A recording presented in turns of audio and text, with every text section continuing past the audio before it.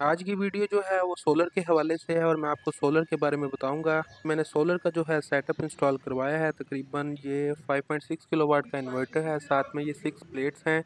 Longi Himo X six five eighty watt की half cut mono class A tier solar panels हैं ये। 580 वाट के मैंने सिक्स पैनल्स जो हैं इंस्टॉल करवाए हैं फिल वक्त और साथ में जो है मैंने क्राउन एग्जावियर टू का इन्वर्टर जो है इंस्टॉल करवाया है 5.6 किलोवाट 5.6 किलोवाट का जो है हाइब्रिड इन्वर्टर मैंने इसमें इसके साथ जो है इंस्टॉल करवाया है। और मैं कोशिश करूँगा कि आपको इसके बारे में जितना हो सके मैं गाइड करूँ। ये जैसा कि आप देख रहे हैं कि इन्वर्टर यहाँ पे लगवाया है, जो घर की मेन डीबी बॉक्स है, उसके साथ मैंने इन्वर्टर लगवाया है। और उसके दरमियान में जो है इन्वर्टर के साथ डीबी बॉक्स लगवाया है। वीडियो की तरफ़ उम्मीद करता हूँ आपको मेरी वीडियो पसंद आएगी। आप मेरी वीडियो को लाइक शेयर और सब्सक्राइब ज़रूर करें। और मेरे चैनल को भी सब्सक्राइब करें। तो ये हम आ गए हैं छत पर और हमने जो है दो अदर स्टैंड लिए हैं। Three P V galvanize stand हैं फोर्टीन गेज के। चौदह गेज के जो है दो स्टैंड हमने लिए हैं, अच्छे वाले स्टैंड लिए हैं। हमारे ताकि जो सोलर पैनल्स हैं वो इस पर लग सकें। अगर हम एक स्टैंड लेते तो हमारा जो है उस पर तीन प्लेट्स लग जानी थी। इसलिए हमने, क्योंकि छः प्लेट्स लगानी थी तो इसलिए हमने दो स्टैंड मंगवा लिए थे। एंड पे मैं सबको आप कीमत भी बताऊँगा कि हमारा टोटल कितना खर्चा आया है और ये विदाउट बैटरी और विदाउट नेट मीटरिंग का काम करवाया है। नेट मीटरिंग और बैटरी के बगैर ही सारा काम करवाया है।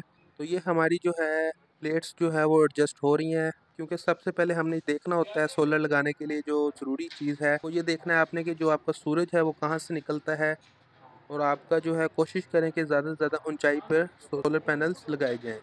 जितनी ज़्यादा हाइट पर सोलर पैनल्स लगेंगे, वो आपका ज़्यादा बेहतर आपको परफॉर्मेंस देगा। तो मेरी कोशिश थी कि मैं इससे भी ऊपर लगवाऊँ अपने ये सोलर पैनल्स लेकिन वहाँ पर जो है वो एडजस्टमेंट नहीं हो पाई। वहाँ पे हमारी टैंकी भी थी और दूसरा ये कि वहाँ पर ये पूरे भी नहीं आने थे। तो इसलिए हमने यहाँ पर इस साइड पे लगवा लिया है। यहाँ पर ये है कि हमारे ये जो है सूरज की रोशनी काफ़ी हद तक रहती है। तो जैसा कि आप सब जानते हैं कि बिजली बहुत महँगी हो गई है और सब लोग जो है मोस्टली लोग जो है वो सोलर की तरफ़ आ रहे हैं। और हमने भी सोचा कि हम भी जो है वो सोलर पैनल्स लगवा लें तो बेहतर है।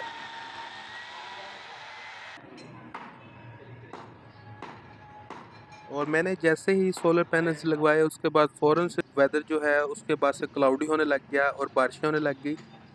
उससे पहले जो है, वो कहा के सूरज पड़ रहा था, लेकिन बाद में जो है, हमारे जैसे ही सोलर हमने लगवाया, उसके बाद से बारिशें स्टार्ट हो गई। तो खैर, वो एक अलग बात है। तो हमारी जो है, ये सिक्स प्लेट्स हैं। जैसे मैंने आपको पहले बताया है, हमारी ये लॉन्जी ब्रांड की जो है, मैंने प्लेट्स लगवाई हैं 580 वॉट की। ये जो हमारा इन्वर्टर है, इसके साथ हमारी दस प्लेटें लग सकती हैं 580 वॉट की। लेकिन जो हमारी कोशिश है कि हम नाइन प्लेट्स तक इसको करेंगे। क्योंकि जिस भाई से मैंने लगवाया है, उन्होंने बोला है कि आप बेहतर है कि नौ प्लेट तक ही लगवाएँ। क्योंकि कहते हैं कि जी इन्वर्टर पे ज़्यादा लोड नहीं डालना चाहिए। जैसे ही आप इन्वर्टर पे थोड़ा सा भी ज़्यादा लोड डालेंगे, जो उसकी एक लिमिट है, उससे ज़्यादा लोड डालेंगे तो आपका जो इन्वर्टर है, वो ठीक से काम नहीं करेगा और ज़्यादातर चांस होते हैं कि वो बर्न कर जाता है मतलब जल जाता है। तो इसलिए हम कोशिश करते हैं कि हम उस पर ज़्यादा लोड ना डालें। वैसे मैंने इन्वर्टर भी जो है अच्छे वाला लगवाया है क्राउन का और एंड पे मैं आपको हर एक चीज़ की कीमत भी बताऊँगा। क्राउन का इन्वर्टर जो है वो डबल फ़ैन वाला मैंने लगवाया है ताकि वो ज़्यादा हीट अप ना हो। अच्छी क्वालिटी का मैंने इन्वर्टर लगवाया है। तो ये हमारी जो है वो छः प्लेटें जो है वो अभी हमारी एडजस्टमेंट हो रही है। ये भाई हमारे फिक्स कर रहे हैं। तो ये जैसे ही फिक्स होती है, इसके बाद मैं आपको इसका जो इन्वर्टर के बारे में बताऊँगा, हमारी वायर कौन सी लगी है वो भी बताऊँगा। कोशिश करूँगा कि मैं आपको सारी चीज़ें समझा सकूँ इस वीडियो में। हमारे जो नट बोल्ट्स वगैरह हैं, वो कौन से लगे हैं, वो सारा मैं आपको बताऊँगा। और हमारे टोटल चार्जेस कितने हुए हैं, वो भी मैं आपको बताऊँगा।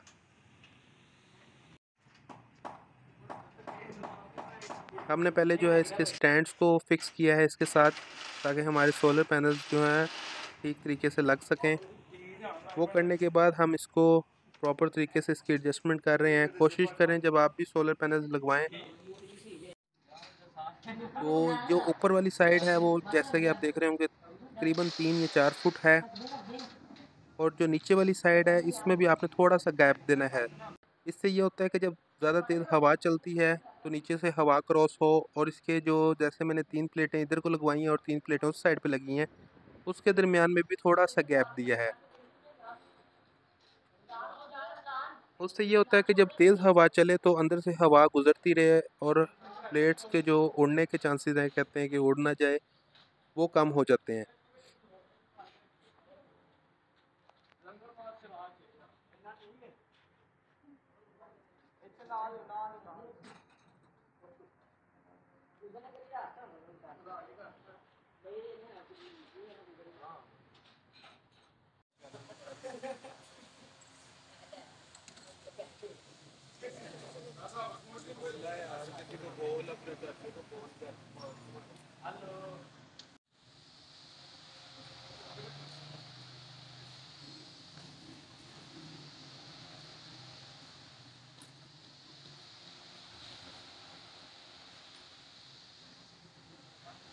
वायरिंग का काम हो रहा है ये।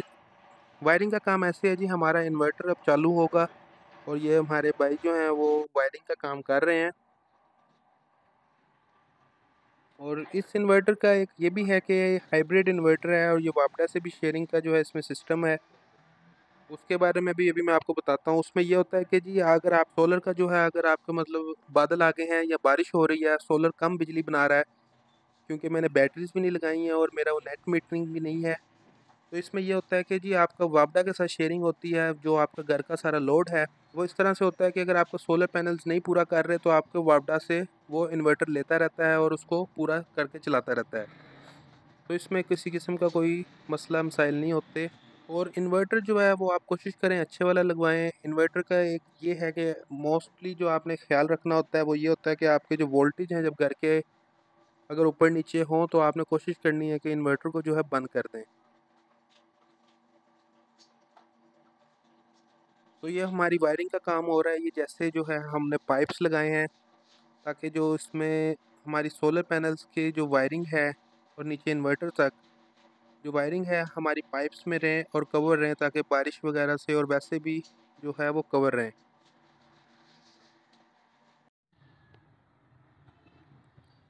डीसी फ्लेक्सिबल 6 एम की टू कोर वायर है, for solar panels connection, DC flexible single core wire for battery connection. क्योंकि हमने इसकी सारी जो है वो वायरिंग करवा ली है, अगर हम बाद में चाहें तो बैटरी भी लगवा सकते हैं।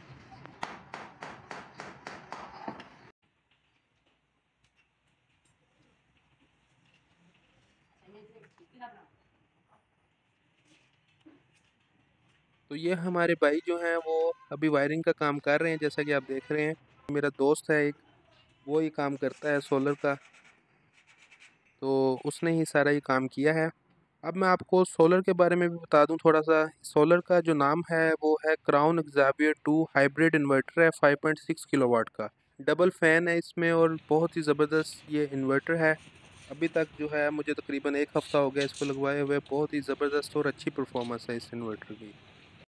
इसके साथ जो हमारा ये डीबी बॉक्स लगा है, जिसमें भी ये वायरिंग कर रहे थे भाई, जो डीबी बॉक्स है, हमारा मेन डीबी बॉक्स इसमें three single pole AC breaker लगवाए हैं two DC two pole breaker for solar one DC single pole breaker for batteries और दो जो हैं, वो चेंज ओवर ब्रेकर लगवाए हैं एसी के लिए।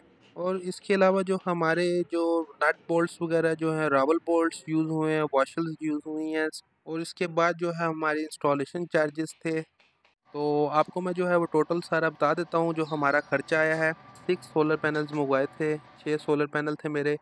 एक सोलर पैनल जो है वो तेईस हज़ार का था। टोटल जो छः सोलर पैनल्स आए हैं वो तकरीबन एक लाख छत्तीस हज़ार के थे। उसके बाद हमारा हाइब्रिड इन्वर्टर है Crown Xavier two five point six kilo watt का। वो जो है हमारा आया है एक लाख पचानवे हज़ार का। उसके बाद हमारे दो स्टैंड थे दो स्टैंड हमारे जो चौदह गेज के स्टैंड थे, वो तकरीबन आए हैं हमारे बीस हज़ार रुपये के। उसके बाद हमारी जो वायरिंग वगैरह हुई है, वो तकरीबन अठारह से बीस हज़ार रुपये का हमारा ख़र्चा हुआ है। उसके बाद डीबी बॉक्स का जो हमारा ख़र्चा आया है, वो इक्कीस हज़ार रुपया है। और जो स्टील बोल्ट्स नट बोल्ट्स वगैरह सारा उसमें मटेरियल यूज़ हुआ है, वो तकरीबन पाँच से छः हज़ार रुपये हमारा उस पर ख़र्चा आया है। बिल बना था, वो सवा चार लाख बना था। थी आज की video. Thank you for watching like subscribe and share my channel Imran Arif tech